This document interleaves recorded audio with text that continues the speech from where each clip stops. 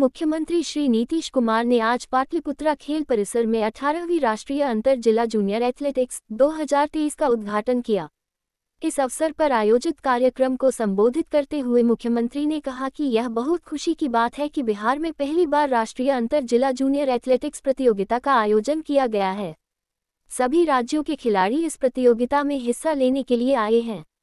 मैं उन सभी खिलाड़ियों एवं उनके साथ आए अधिकारियों का अभिनंदन करता हूँ और धन्यवाद देता हूँ।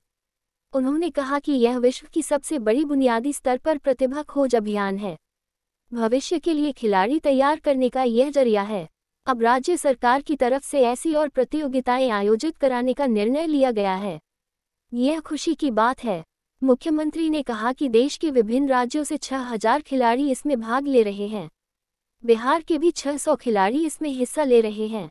बिहार में खेलों को बढ़ावा देने के लिए राज्य सरकार प्रयास कर रही है।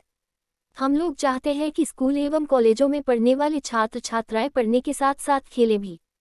पढ़ाई के साथ साथ खेलकूद भी ज़रूरी है। हम चाहते हैं कि सभी स्टेडियम जल्द से जल्द बनकर तैयार हो जाए। राज्य के प्रतिभावान खिलाड़ियों को ट्रेनिंग के लिए बाहर भी भेजा जा रहा है।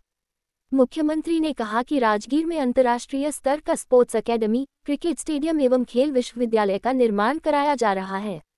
इसको लेकर 740 करोड़ रुपए की लागत से काम हो रहा है। वर्ष 2002 में हम जब स्वर्गीय श्रद्धेय अटल बिहारी वाजपेयी की सरकार में रेल मंत्री थे तो हमने खिलाड़ियों के लिए रेलवे में नौकरी देने का निर्णय लिया था।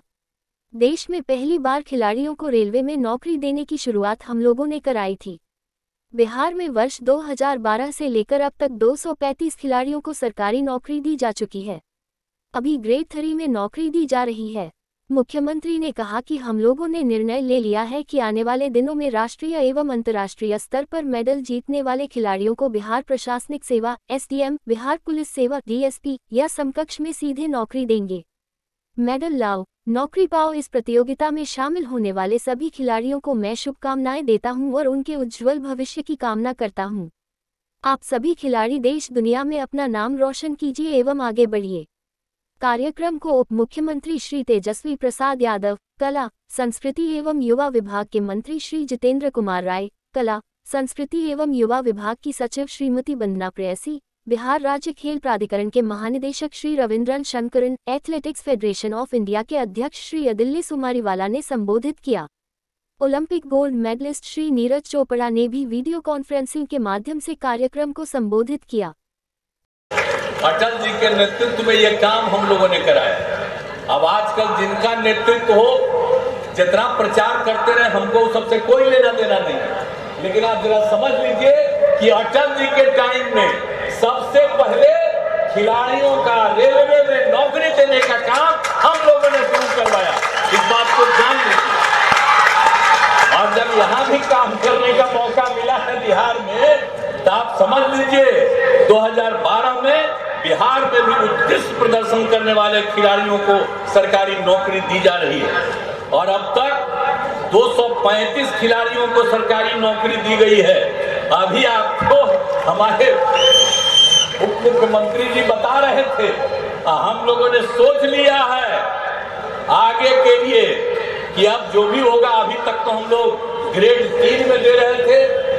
अब हम लोगों ने सोच लिया है कि जो खूब आगे बढ़ने वाले होंगे, उनको नौकरी देंगे सीधे और उनको बनाएँगे हम लोग। क्या समझिए ग्रेड वन का, यानी बिहार प्रशासनिक सेवा और बिहार पुलिस सेवा में और सीधे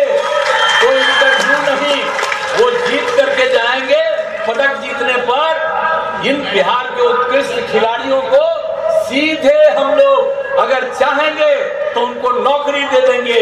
आप उसको समझ लीजिए ग्रेड वन के स्तर पर बिहार के खिलाड़ियों को हम दे देंगे। ये हम लोगों ने सोच लिया है। अब पहले को देख रहे थे, जो ग्रेड तीन में, अब ग्रेड एक तक का भी हम लोगों ने सोच लिया है कि उनको देंगे। तो जब इस तरह से काम होगा तो आप समझिए, हमारे खिलाड़ी और कितना बढ़ेंगे और कितना आगे बढ़ेंगे। तो इसीलिए हम लोगों का ये सब फैसला है। तो हम लोग को करना चाहते हैं। यहाँ पर आज जितने लोग